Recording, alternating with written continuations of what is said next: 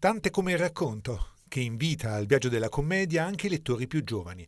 nel rispetto di un testo vivo, di un sistema di pensiero, di valori, di quella che giustamente è stata definita probabilmente la prima opera mondo dell'Occidente.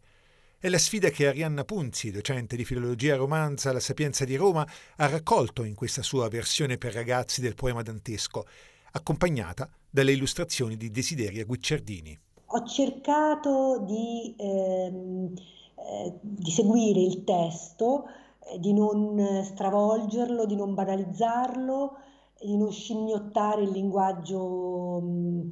bambinesco, diciamo così, e di tenere anche un livello un pochino alto, perché secondo me poi Dante è sempre una sfida anche per un lettore giovane. E quindi mi sembrava bello che eh, sì, leggesse il testo, seguisse la storia fondamentalmente, ma senza eh, trovarsi la storiella così raccontata, quindi mantenendo anche un po' la,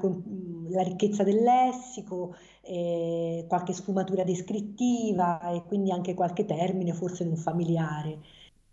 La grande sfida, come si diceva, è quella dei valori che innervano la commedia, il gigantesco e variegato castello di simboli e credenze che è costitutivo della grandezza immensa della Lighieri. Per quanto Dante naturalmente rilegga all'interno della sua visione del mondo no? e anche da, nella sua visione della storia della salvezza, evidentemente, però sono dei valori che eh, dei ragazzi possono perfettamente capire. Penso al valore della libertà che è al centro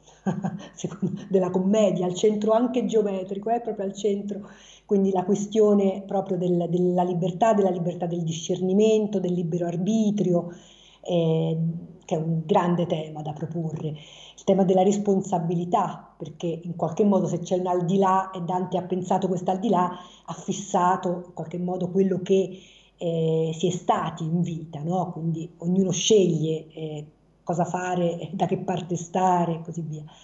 eh, il tema della dignità umana che è molto forte in Dante. Noi a volte lo dimentichiamo, però la commedia è anche molto teatralizzata, no? Cioè, noi vediamo proprio personaggi che interagiscono. È teatrale perché eh, viaggia, cammina, ma in questo cammino incontra, incontra personaggi di tutti i tipi, nelle situazioni più varie, eh, si alternano voci eh, molto diverse, con lingue diverse, con modalità anche espressive diverse. E da questo punto di vista io ho,